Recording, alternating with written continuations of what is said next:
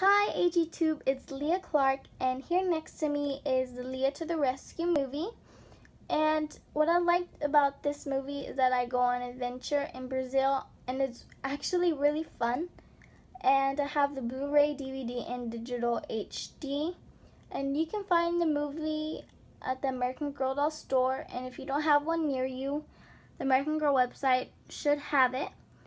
And yeah, so next time you're thinking of watching a movie, I totally recommend my movie, Lea to the Rescue, since I had a lot of fun watching it.